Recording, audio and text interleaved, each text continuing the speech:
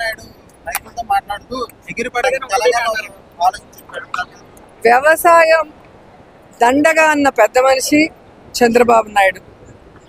వ్యవసాయులకి అండగా లేకుండా వ్యవసాయం చేసే వాళ్ళు ఆత్మహత్యలు చేసుకునే విధంగా పరిపాలించిన వ్యక్తి చంద్రబాబు నాయుడు. ఈరోజు వ్యవసాయం చేసే వాళ్ళకి ఏదో ఆయన రైతులకి అండగా ఉన్నట్టు ఆయన మాట్లాడుతూ ఉంటే హాస్యాస్పదంగా ఉంది. రైతులకి అండగా ఉన్నది ఆనాడు వైఎస్ఆర్ గారు ఈనాడు జగన్మోహన్ రెడ్డి గారు. తండ్రిని మించిన తనయుడిగా ఈరోజు రైతులకి అన్ని రకాలుగా అండగా నిలబడటమే కాకుండా వారందరికీ వారి ఇంటి ముంగటికే రైతు భరోసా కేంద్రాల ద్వారా ఇటు ఖరీఫ్ రబీలో ఏ విధంగా ఆర్థిక సపోర్ట్ ఇవ్వటమే కాకుండా వాళ్ళకి విత్తనాలు ఎరువులు పురుగు మందులు అన్నీ కూడా రైతు భరోసా కేంద్రం నుంచే ఆ ఊర్లోనే అందుబాటులోకి తీసుకురావటం వారు పండించిన పంటకి గిట్టుబాటు ధర కల్పించడం ఏదైనా ప్రకృతి వైపరీత్యాల వల్ల నష్టపోతే ఇమీడియట్గా దానికి కాంపెన్సేషన్ ఇవ్వటం అనేది ఒక్క ఆంధ్రప్రదేశ్లో జగన్మోహన్ రెడ్డి గారి పరిపాలనలోనే జరుగుతుంది కాబట్టి రైతులు కూడా హ్యాపీగా ఉన్నారన్న విషయం చంద్రబాబు నాయుడు తెలుసుకోవాలి. తెలంగాణకి ఆంధ్రాకి కంపారిజనే లేదు. తెలంగాణలో గతంలో ఉన్న ముఖ్యమంత్రి ఆయన అధికారంలో రావడానికి ఆయన ఏం మేనిఫెస్టో చెప్పారు? ఆయన ఏం చేశారు అనే దాని మీద ఆధారపడి ఉంటుంది.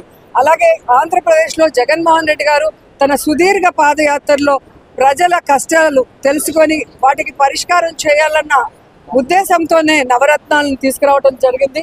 ముఖ్యమంత్రి అయిన మొదటి రోజే మొదటి సంతకం నుంచే సంక్షేమాన్ని ఈ రాష్ట్ర ప్రజలకు అందించారు. ఆ రోజటి నుంచి ఈ రోజటి వరకు మీరు చూస్తే ఏ రోజు కూడా ఏ సంక్షేమ పథకం ఆగకుండా ముందుకు వెళ్తుంది.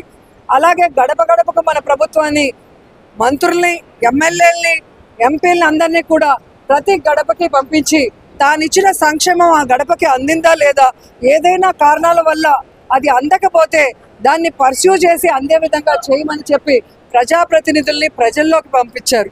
ఆ తర్వాత మీరు చూస్తే ఏ విధంగా సురక్ష కార్యక్రమంతో పదకొండు రకాల సేవల్ని మీ అందరికీ తెలుసు ఒక క్యాస్ట్ సర్టిఫికేట్ కానీ ఒక ఇన్కమ్ సర్టిఫికేట్ కానీ ఒక మ్యారేజ్ సర్టిఫికేట్ కానీ ఒక డెత్ సర్టిఫికేట్ తీసుకోవాలంటే ఎంత అభినందించాల్సిన విషయం? ఆరోగ్య సురక్ష. ప్రతి ఇంటికి మెడికల్ టెస్టులు చేసి ఆరోగ్యం లేని వాళ్ళకి ఆరోగ్యం సరిగా లేని వాళ్ళకి దగ్గరుండి వేలు పట్టించుకొని పట్టుకొని నడిపించే విధంగా వారికి ఆపరేషన్లు చేయాలన్నా వారికి మెడిసిన్స్ ఇవ్వాలన్నా ఆపరేషన్స్ తర్వాత వాళ్ళు పని చేసుకోలేరు కాబట్టి ఆరోగ్య ఆసరా ఇవ్వాలన్నా కూడా ఏ విధంగా సచివాలయ వ్యవస్థ ద్వారా ప్రతి ఇంటిలో కూడా డేటాను తీసుకొని ఆ ఊర్లోనే డాక్టర్స్ని స్పెషలిస్ట్ని తీసుకొచ్చి ప్రజల ఆరోగ్యం గురించి ఆలోచించారో మీరు చూశారు. ఇక ప్రతి పేదవాడు కోరుకునేది ఒకటే తిన్నా తినకపోయినా గౌరవంగా తన ఇంట్లో తాను ఉండాలనుకుంటాడు.